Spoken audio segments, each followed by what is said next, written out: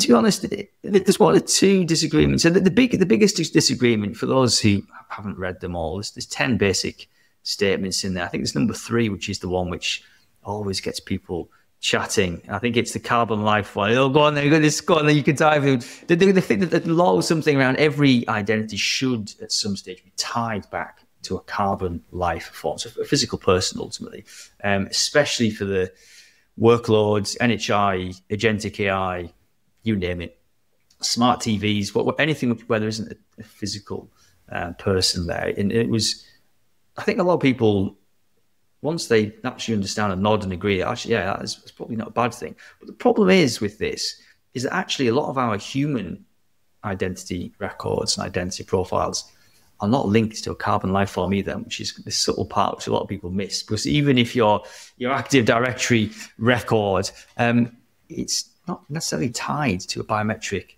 validated and verified identity. It's just Simon's AD entry with the UPN and whatever else. So there's a bit of a subtlety in that around trying to make this real for, for, for all identities. But yeah, the, the laws was really again get, having some discussion, put, putting a flag in this.